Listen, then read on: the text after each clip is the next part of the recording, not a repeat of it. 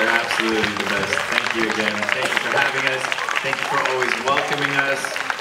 We absolutely love you guys, and again, it's you know it's very obvious, but we we just wouldn't be here without you guys. So thank and thank you for growing the fandom. Thank you for loving each other. Thank you for supporting each other.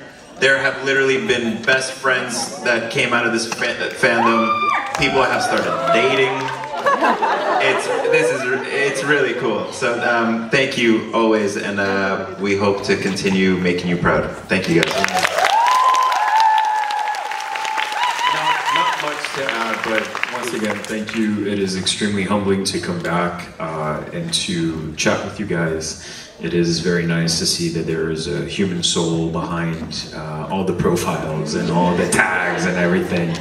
Um, but uh, to reiterate something that was said before, uh, we would not, I, it's a reciprocity, right? We would not be here without uh, you because uh, it's pointless to do our job if no one watches it.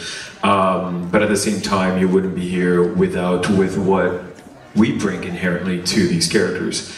Um, and so, thank you for making yourselves available to come here, to spending the money to come here, to coming from different countries, maybe get a visa or maybe not get a visa. Um, but it doesn't go unnoticed that um, you put energy and effort behind uh, your making your trip here.